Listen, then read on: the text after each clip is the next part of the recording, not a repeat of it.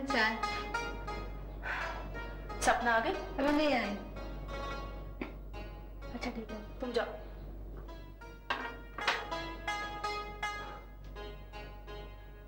छह बजने वाले हैं। मुझे तो कपड़े बदले हुए भी एक घंटा हो गया। वो तो हमेशा चार बजे से पहले आ जाती है। आज क्यों नहीं आई? कहाँ रह गई होगी?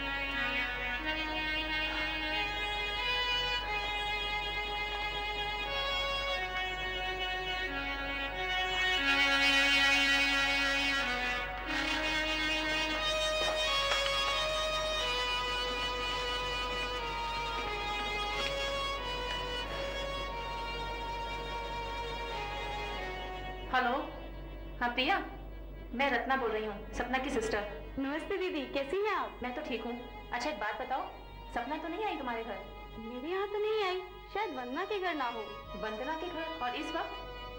तुम्हें कैसे मालूम? कल मुझे वंदना का फ़ोन आया था वो बता रही थी कि सपना आज दोपहर का खाना उसी के साथ खाएगी। आप कहें तो मैं वंदना के घर पता करके बताऊँ?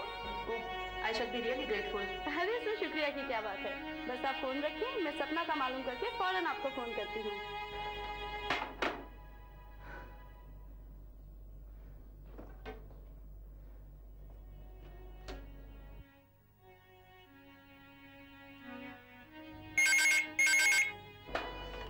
हेलो हाँ प्रिया कुछ पता चला? दीदी सपना तो वंदना के घर गई ही नहीं। नहीं गई? Anyway, thank you very much.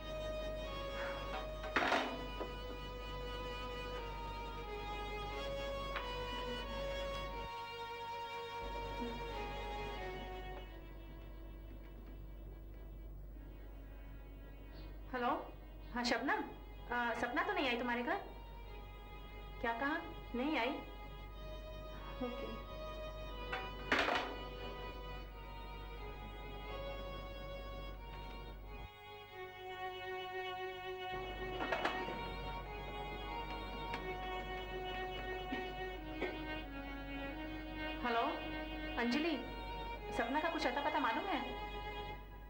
क्या तुम्हें कई दिन से नहीं मिली?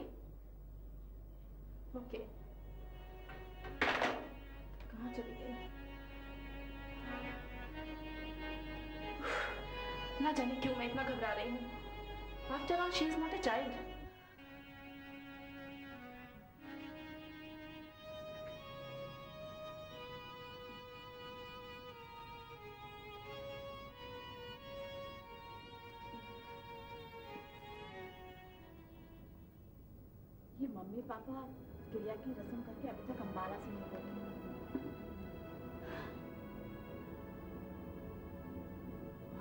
है। तो आ जाना चाहिए था उन्हें।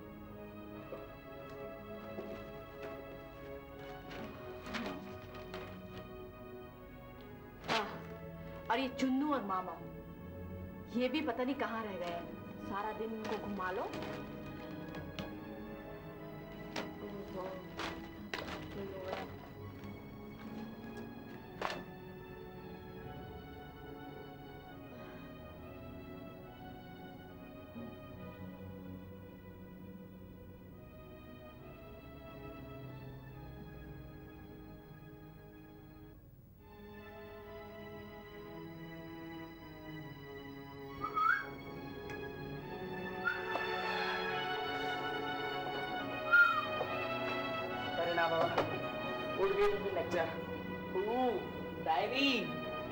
वाह आज मैं बहुत खुश था कि सुबह सुबह आरती कॉस्मेटिक स्टोर जाकर आरती का दीदार करूँगा। वाह। वहाँ पहुँचा पर मेरी बदकिस्मती। दीपक वहाँ पहले ही आ चुका था। आरती दीपक को मोहब्बत भरी निगाहों से देख रही थी। वाह। कोई मुझसे मेरी मोहब्बत छीन ले ये मुमकिन नहीं। Hmm, it is, it is just im, impossible. Hmm. Chunnu! Behave yourself यूँ किसी की डायरी नहीं पढ़ा करते समझे? ये डायरी तुम्हारी तो नहीं हो सकती। तो फिर गरम क्यों नहीं हो? मैंने कब कहा कि ये डायरी मेरी है? और फिर ये डायरी किसी की भी हो। बिना इजाज़त किसी की भी डायरी पढ़ना बहुत बुरी बात है। तो तुम क्या इसकी आरती उतारने के लिए यहाँ लाई थी?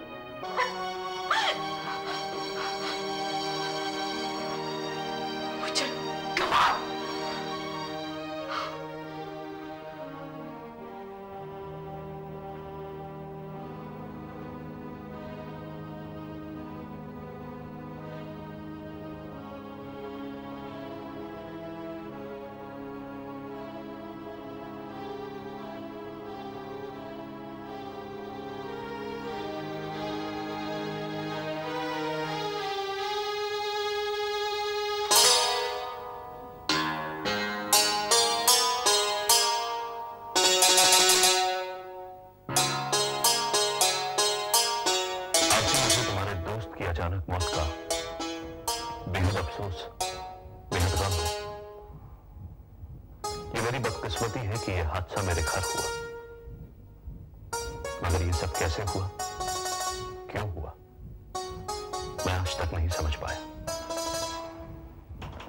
मैंने यह फैसला भगवान पर छोड़ दिया है। यह सच है आरती कि मैं तुमसे मोहब्बत करता था। करता हूँ और करता रहूँगा। मगर मेरी मोहब्बत में कोई खोट, कोई गर्ज नहीं है। एक बात और। मैंने तुमसे हुई अपनी पहली मुलाकात में ही यह तय कर लिया था कि शांति सहायता समिति की देखभाल का सारा काम मैं तुम्हें सौंप दूँगा। क्योंकि मुझे यकीन था, तुमसे अच्छा कोई और काम यह कर ही नहीं सकता। मेरी ये राय, ये इरादा अभी भी बदला नहीं है। इसलिए मैं कानूनी तौर पर तुम्हें यह सब कुछ सौंप रहा हूँ। मुझे यकीन है कि तुम मेरे जज्बे को इज़्ज़त बख्शोगे। तुम्हारा मुझ पर एहसान।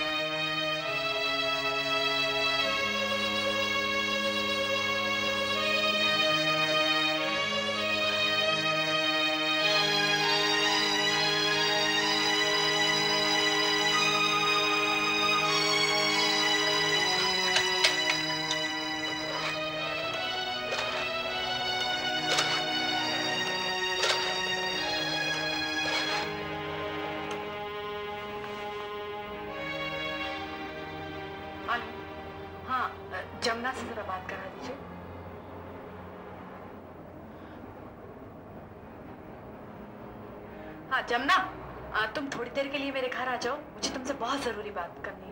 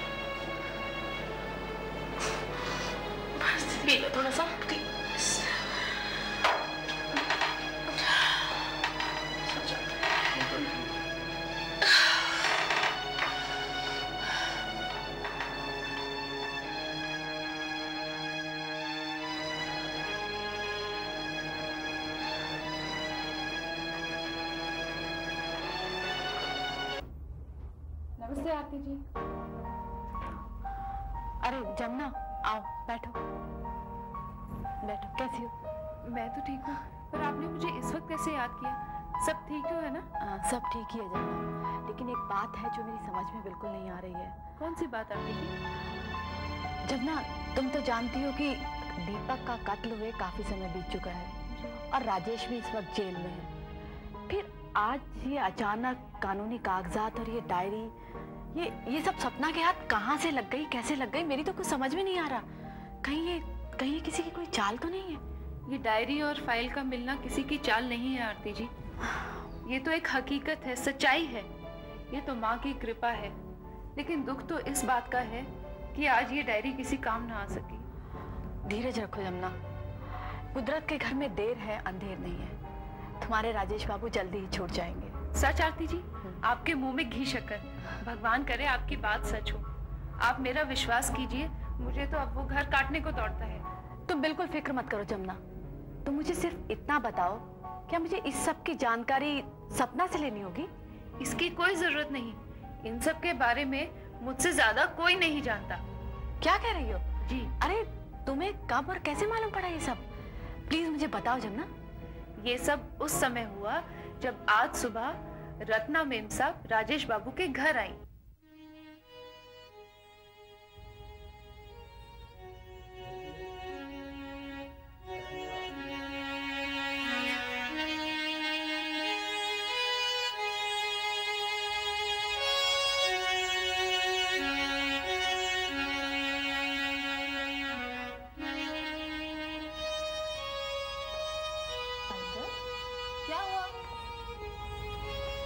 आपको।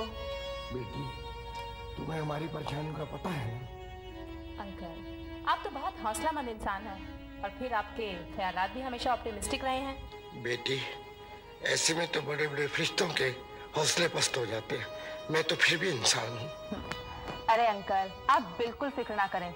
मुझे पूरी उम्मीद है कि आज हम ये केस जीत जाएँगे और राजेश को बाइज्जत रिहा कर दिया जाएगा। आज फैसला हो जाएगा। जी हाँ। ये जज केस को बहुत जल्दी निपटाने में बहुत मशहूर हैं। अंकल कोर्ट का वक्त होने वाला है। मैं चलती हूँ। आप भी जरा जल्दी पहुँचे। अच्छा बेटी। बाबूजी नाश्ता बनाओ। मन नहीं कर रहा जमुना। हाँ दुआ करना। कि शाम का खाना बेटे के साथ घर पर ही खाऊं।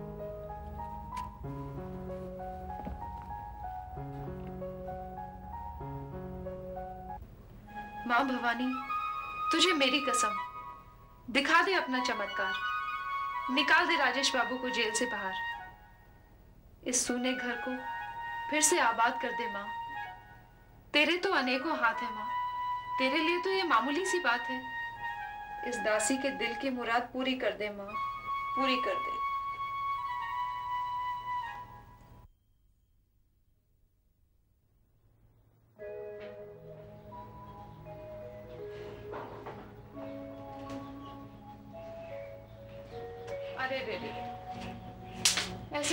समय में इन बेजान पौधों पर किसी की नज़र नहीं पड़ी। कैसे पीले पड़ गए हैं बेचारे। मुझे इसी वक्त इनमें पानी देना चाहिए। भगवान बेजानों की बहुत सुनता है। उनकी आत्मा को शांति मिलेगी तो मेरे साथ ये भी भगवान से दुआ मांगेंगे। राजेश बाबू, जल्दी छूट जाएँ।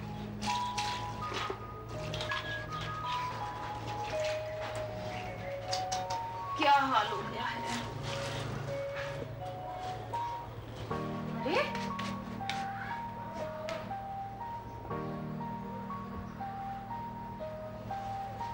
आज शाम एक रेस्तरां में मैंने आरती को दीपक से घुल मिलकर बातें करते देखा। आरती के ये अंदाज मुझे पागल कर देंगे।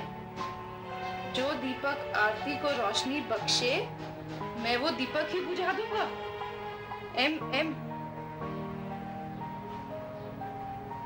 दाल में ज़रूर कुछ काला है। अब क्या करूँ? बाबूजी तो गए और शाम तक ही लौटेंगे। हो सकता है ये एम एम, इस डायरी का मालिक, यही दीपक बाबू का कातिल हो। मुझे आरती मेम साहब को फ़ोन करके सब बताना चाहिए।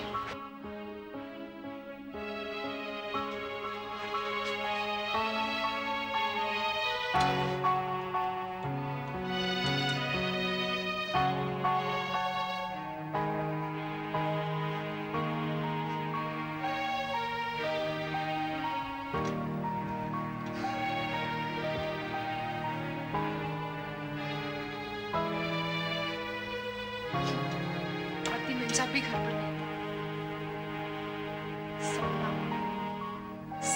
मेम साहब शायद घर पर हो।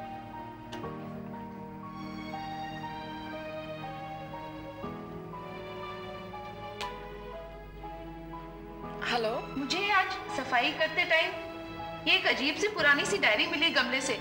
वो मैं आपको दिखाना चाहती हूँ। क्या आप इस वक्त घर आ सकती हैं? जी मैं आपका इंतज़ार करूँगी।